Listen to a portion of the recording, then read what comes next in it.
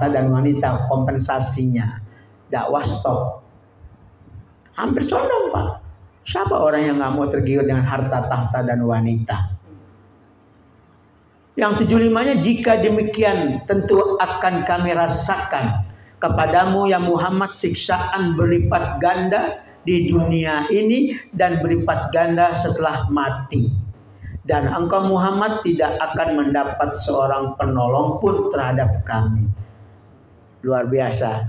Allah sedikit mengan mengancam kepada nabinya Muhammad Shallallahu Alaihi Wasallam. Tapi karena diteguhkan hatinya oleh Allah, istiqomah Innalladzina qalu rabbuna sumastaqamu tatanazzalu alaihimul malaikatu alla takhafu wa la tahzanu wa abshiru bil jannati allati kuntum tu tu'adun.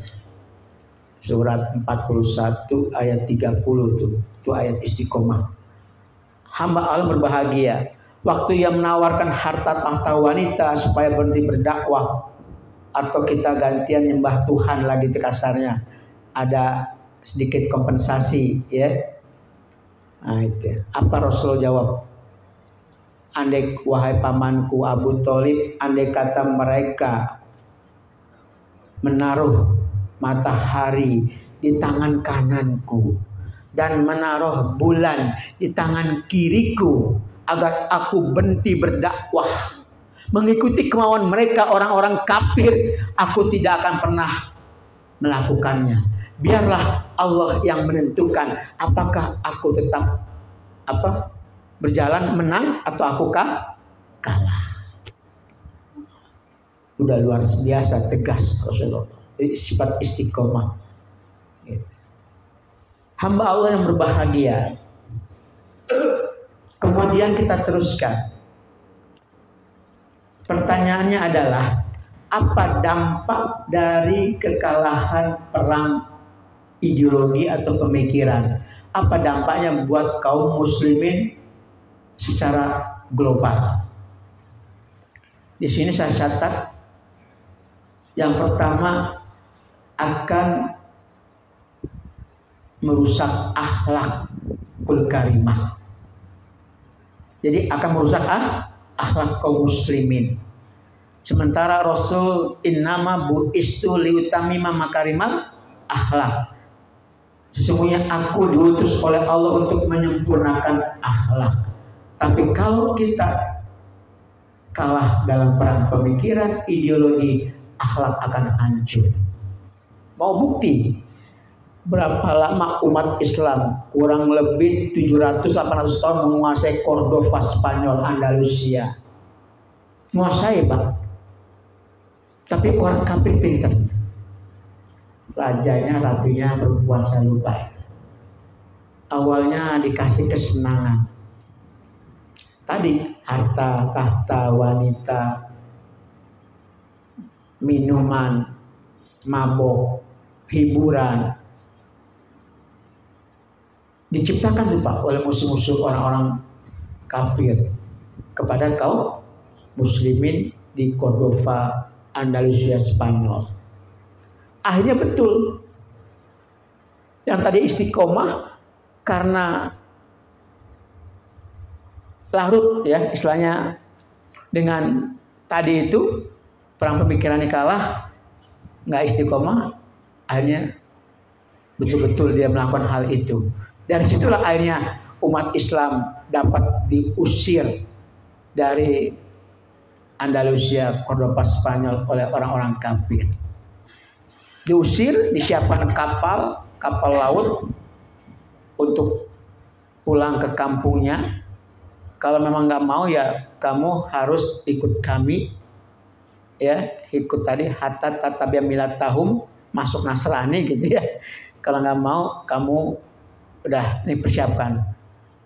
Akhirnya Pak, hampir mayoritas semua umat Islam tidak mau murtad, tidak mau mengikuti aturan orang-orang kafir yang ada di Cordoba, Spanyol, Andalusia itu. Akhirnya disiapkan kapal laut, dia pun hijrah pulang ke negerinya Timur Tengah, ya.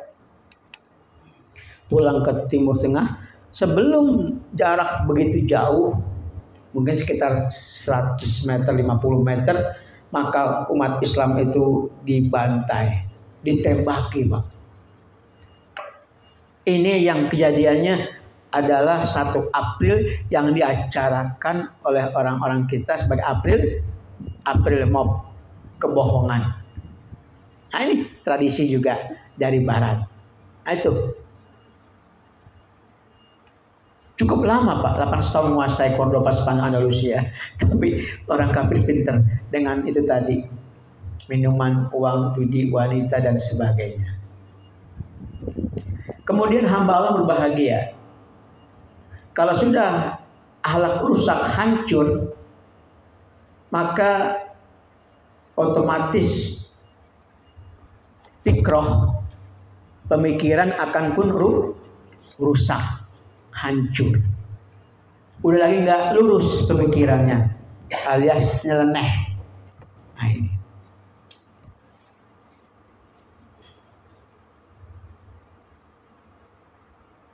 Kita diingatkan oleh Allah di dalam surat Ali Imran 196 la yagurannaka taqallubul ladzina kafaru fil bilad.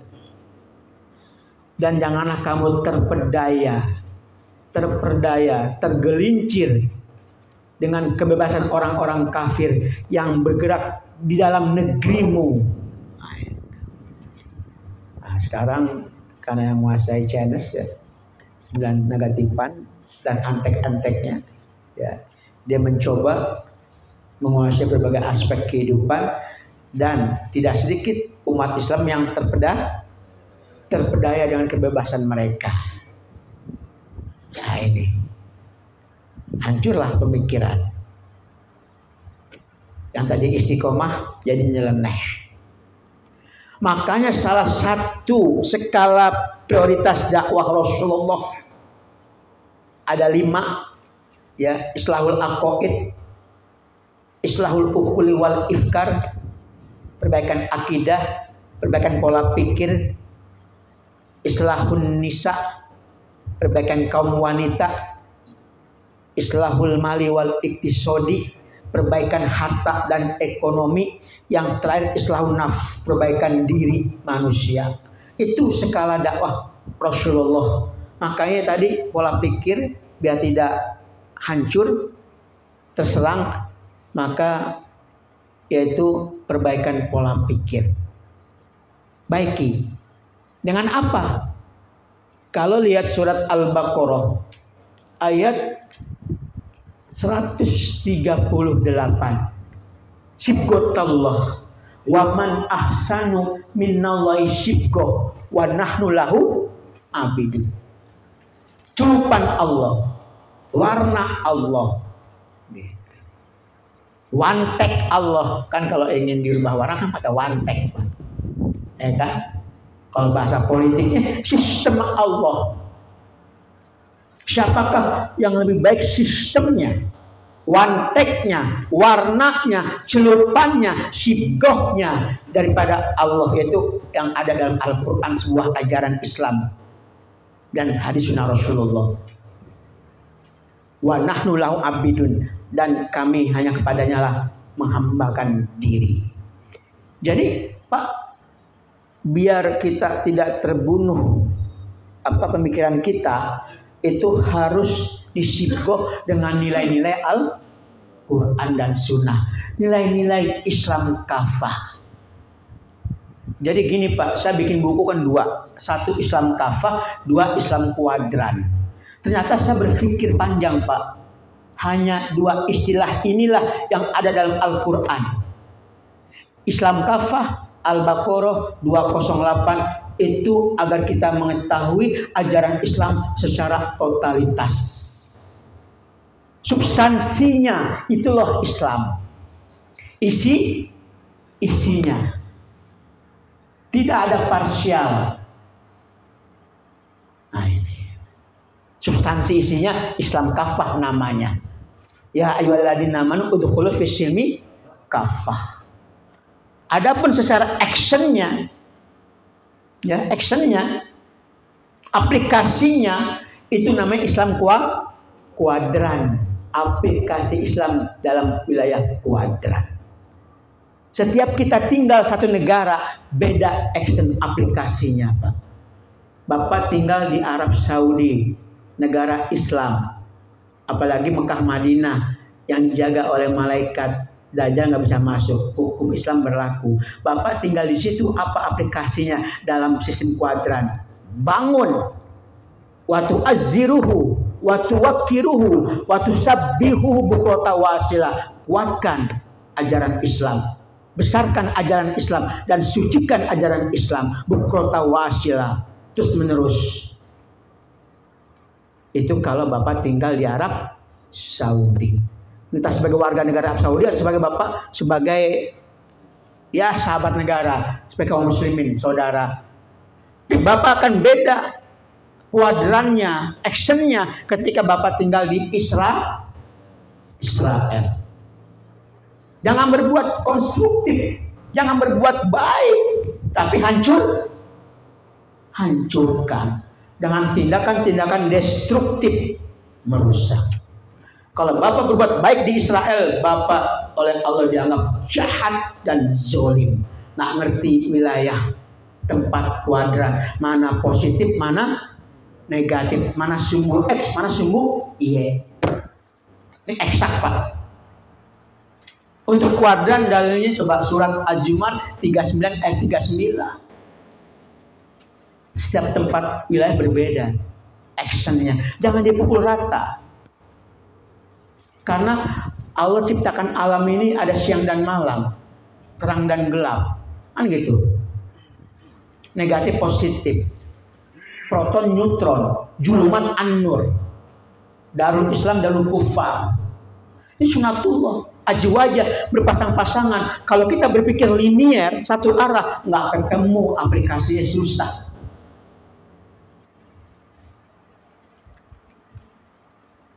Al-Jumar surat 39 ayat 39 ya. Nah ini.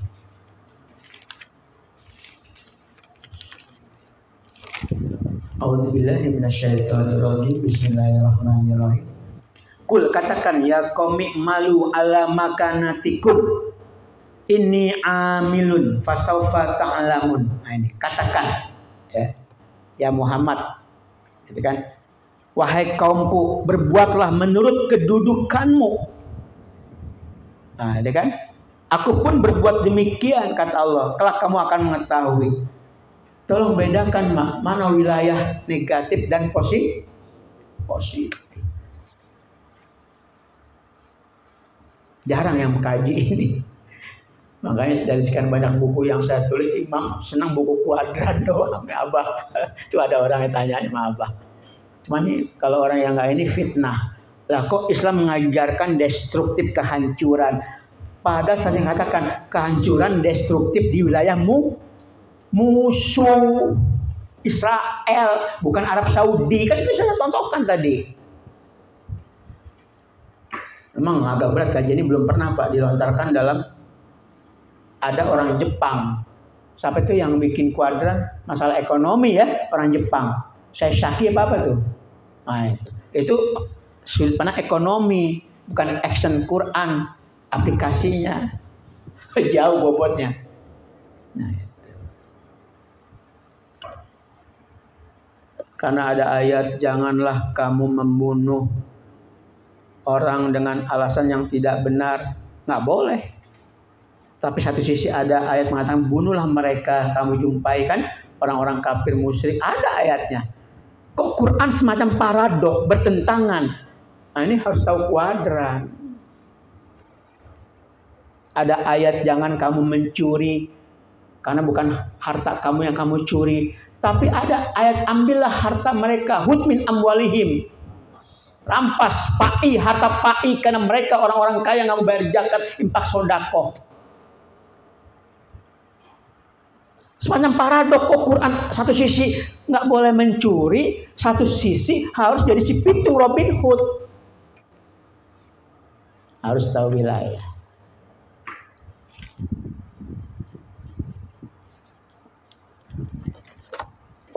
hamba Allah yang berbahagia. Kita teruskan. Yang ketiga, dampaknya kalau kita kalah dalam perang pemikiran ideologi akan dibunuh karakter kita. Kotut tobiah.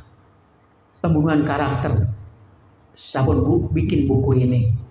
Alhamdulillah yang mengantarkan buku ini pengantar adalah apa? Abu Bakar Bang Bashir masih di penjara di Cipinang tahun 2006 kalau nggak salah waktu Bu Mega jadi presiden saya bikin pak tebel buku pembunuhan karakter dibunuh karakter kita kalau ibarat pohon dibon dibonsai jadi kerdil ini nggak punya gigi orang karakter dibunuh. Nih kalau kalah perang pemikiran ideologi tadi merusak akhlak dua menghancurkan pikiran yang islami tiga dibunuh karakter terbunuhlah karakter.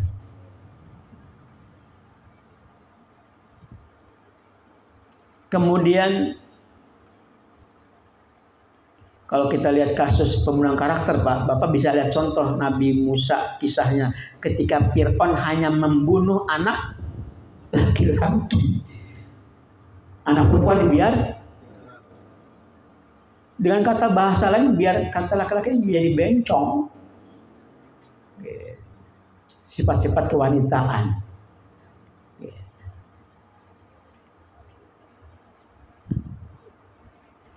Baik, pembunuhan karakter, dibunuh karakternya.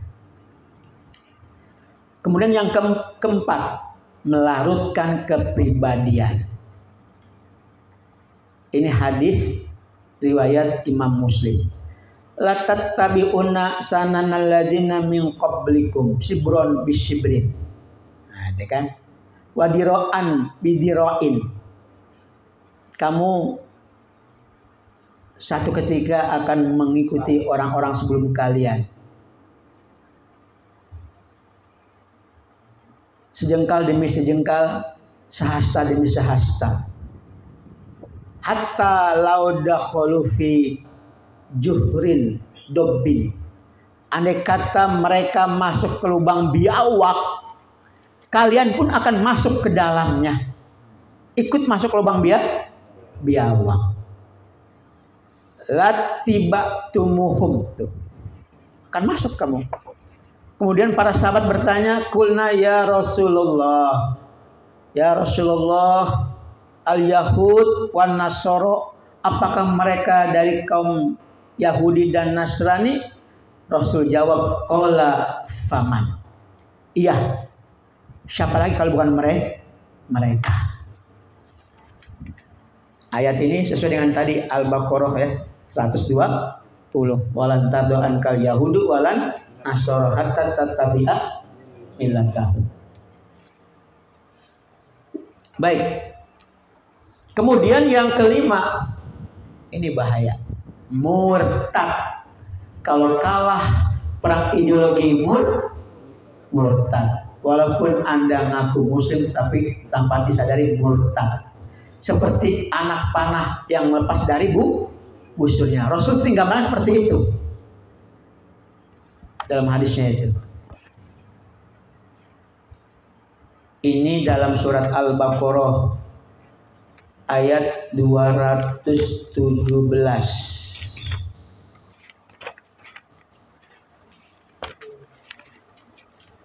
surat kedua ya ayat 7 217 ayat. Di situ di tengah-tengah ayat ya baru nyambung. Nah, ini ada kalimat apa di sini nih? Wa mayyar tadid mingkun ang dinihi. Barang siapa yang murtad dari dinmu, dari dinul Islam maksudnya Pak, ya dari agama Islam fayamut kemudian dia mati wahwa kafirun. Mati dalam kondisi kekafiran faulaika habitas a'maluhum fid dunya wal akhirah. Maka hapus amalnya. Amal kebaikannya amal solehnya hapus baik di dunia maupun di akhirat. Wa ulaika ashabun nar. Mereka apa? Akan menjadi penghuni neraka. Neraka hum fiha khalidun. Kekal di dalamnya. Nauzubillah. Ini jelas ya. Jadi mur murtad. Karena akibat tadi kalah pemikiran dia tasyabuh. Kalau tasabuh sering diikuti Pak, tambah sadar murtad itu hati-hati. Man tasyabaha biqaumin fahuwa minhum barang siapa yang melupai satu kaum maka ia termasuk golongan mereka. Nah itu kan jelas hadisnya.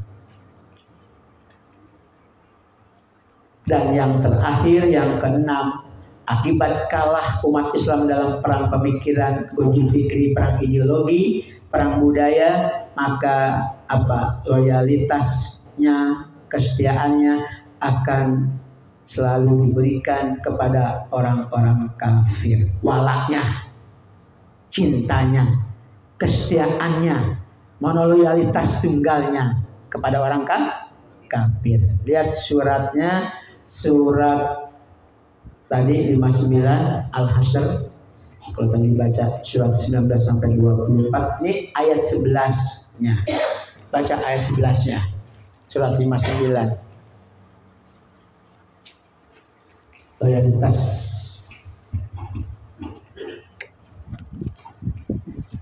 أعوذ بالله من الشيطان الرجيم ألم تر إلى الذين لا ألم تر إلى الذين نافقوا يقولون لإخوانهم الذين كفروا من أهل الكتاب من أهل الكتاب لئن أخرجتم لنخرجن معكم ولا نطيع فيكم أحدا أبدا.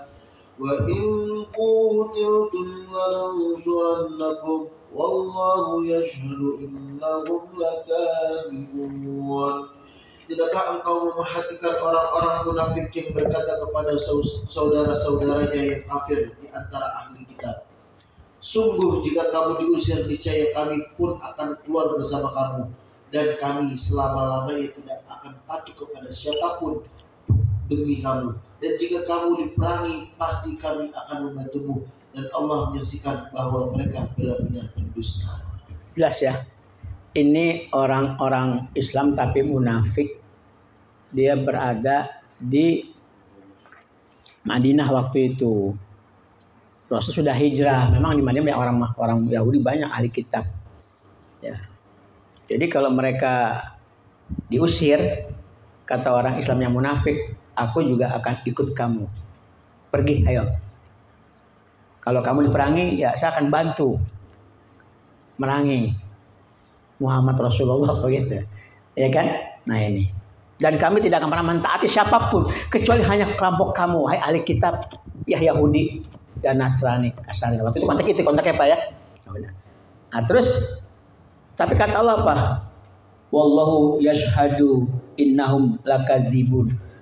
Allah bersaksi bahwa mereka dus, dusta, tukang bohong, ngomong doang. Ada takut. Nah ini Pak, inilah dampak dari kekalahan perang ideologi. Saya ulang dampaknya yang pertama adalah akan merusak akhlak. Tadi kasus Cordova Spanyol ya. Yang kedua akan menghancurkan fikroh, pemikiran. Jadi nyeleneh maka tindakan preventifnya harus disibuk dengan Quran dan Sunnah tadi Al-Baqarah ayat 38 yang ketiga adalah akan terbunuh karakternya itu kan kayak pohon bonsai yang keempat melarutkan kepribadian tadi hadis Imam Muslim masuk ke lubang biawak kita ikut kemudian yang kelima murtad dan yang keenam akan loyalitas setia kepada orang-orang kafir. Nah barangkali itu kajian saya ya singkat padat pada malam hari ini. Semoga bermanfaat. Barangkali kalau ada yang ditanya silakan. Assalamualaikum warahmatullahi wabarakatuh.